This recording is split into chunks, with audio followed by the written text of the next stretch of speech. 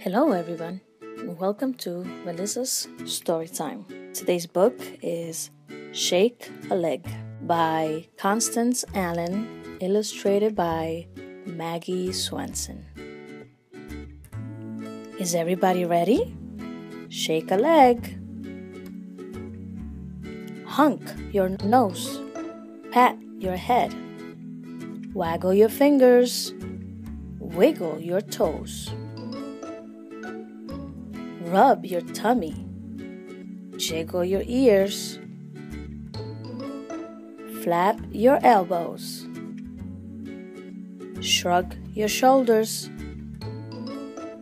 Swing your arms. Touch your ankles. Knock your knees. Kick up your heels. Make a muscle. Twist your waist. Close your eyes. Take a rest.